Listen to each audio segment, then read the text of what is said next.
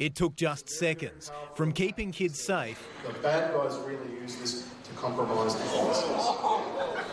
to online exposure.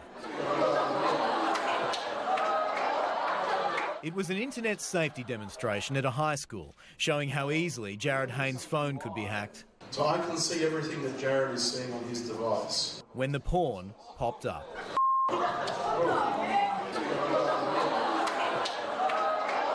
Hayne could only smile awkwardly as the photos were taken down and the talk continued.